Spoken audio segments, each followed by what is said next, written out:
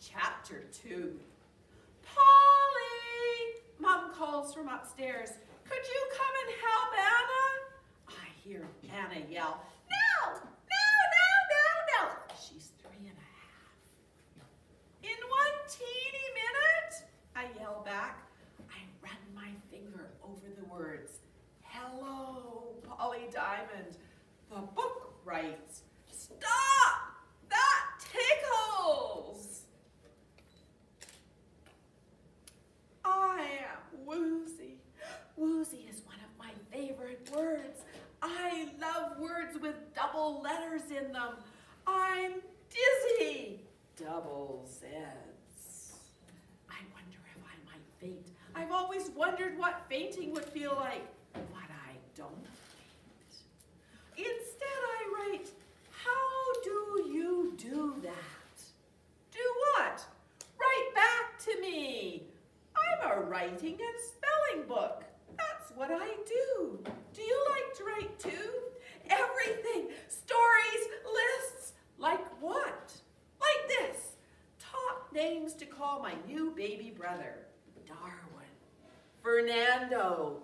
Gil. Edgar. Basil. That's my favorite so far. Basil. It's the name of a herb and a person. I love words that mean more than one thing, but really, I love all words. I love words too. Can you think of any more names? How about hmm, names not to call your baby brother? Waldo, Nightmare, Rocket, Banana. I giggle. I add pilot, galaxy, honeybee. The book writes back. You need to think of a name for me too. Why? I ask. It's your job to give me a name. Really? Fantabulous. That's not a word. No? Polly, please? Mom calls. Sorry, coming. I take my book with me. In the upstairs hallway, I leap over a It's like a giant sleeping snake. This is a simile. I learned about similes from Miss Hairball. The carpet is not really a giant snake. It just looks a lot like one. I one-handed cartwheel into Anna's old room. It smells of new paint. Sunbeam yellow. Careful, Polly, Mom cries. Dad comes in, rubbing his eyes behind his glasses. He's still in his PJs. Hey, Polly D, I think your mom called you 2,000 times. His feet look like hairy gorilla feet. This is not a simile.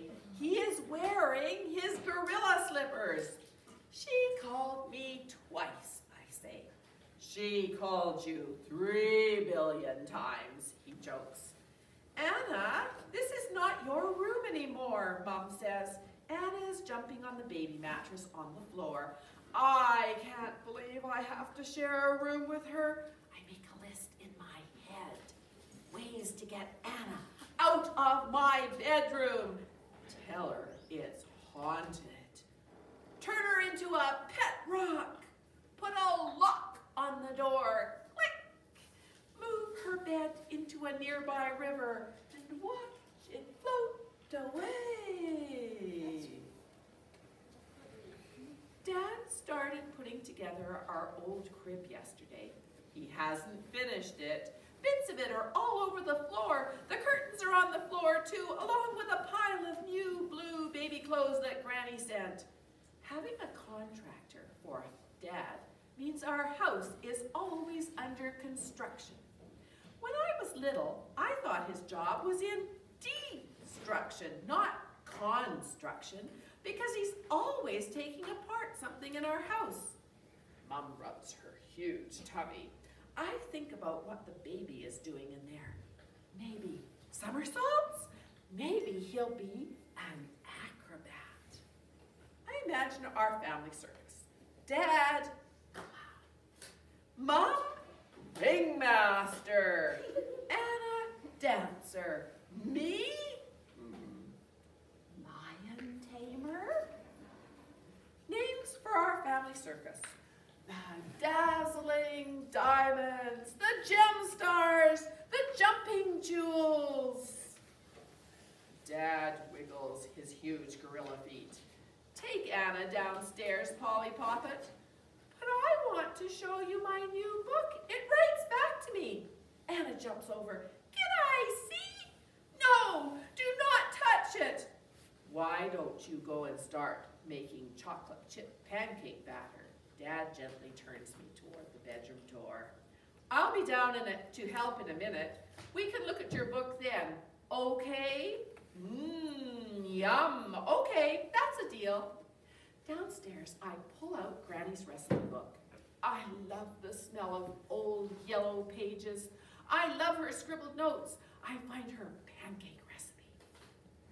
I open our cupboard. Hmm, we have no flour, but there is a can of baking powder. It looks exactly like flour. I dump the baking powder into a bowl. I crack one egg on top. I pick out the pieces of shell. I tip a cup of milk and I stir the mix. Stir the mix, everybody. Stir, stir, stir, stir, which fizzles a little bit. And then the very best part. Look at everybody. Pour in the chocolate chips. Yay! Ta-da! Hmm, maybe when I grow up I can be a chef. Welcome to Diamond's Delicious Desserts, I sing. I love words that all begin with the same letter. Amazing alliterations. I whip open my new book and I write Polly Diamond's new and improved chocolate chip pancakes. One cup of baking powder, one egg, one cup of milk, lots of chocolate chips, rainbow sprinkles to decorate, a dollop of whipped cream. Dad comes into the kitchen. There is milk all over the counter, egg gunk on the floor. Somehow Anna, get out your syrup bottles, has gotten hold of the syrup bottle. Dad's eyebrows shoot up. Whoa, Polly, you sure went to town in here. It could be worse, I say. I didn't spill any sprinkles. You clean up. I'll cook. He inspects the pancake mix. Uh, Polly, did you follow the recipe? We have no flour, I say. I use baking powder instead. Baking powder-tastic. Polly Parrot, he scoops my mix into the garbage. I'll make it again. He turns to the cupboard. Uh, Polly, what's this? I frown because on the shelf there is a full cup of what looks like baking powder. But the can of baking powder I used is already out on the counter. Next to the baking powder on the shelf is a cup of milk and a dollop of whipping cream. And an egg rolls out and smashes on the floor. Chocolate chips and rainbow sprinkles are everywhere. Dad rubs his Mum waddles in like a penguin. Miss made a mess, Dad says to her. Don't worry, love, we're just about to clean up. Refusing to worry, refusing to look, Mom says. She keeps her gaze on the ceiling. Oh no, I looked, I'm leaving right now. Sorry, Mom, I say. Sorry is always a useful word when Mom is frowning. I kiss Mom goodbye. I kiss Mom's huge tummy too. Bye, baby. I definitely think we should call you Gil or Basil. Basil is the top name on my list. It means a herb and a person's name. I know, Mom finishes. She kisses the top of my head, then she kisses the tip of my nose, and she heads out the door. I turn to Dad.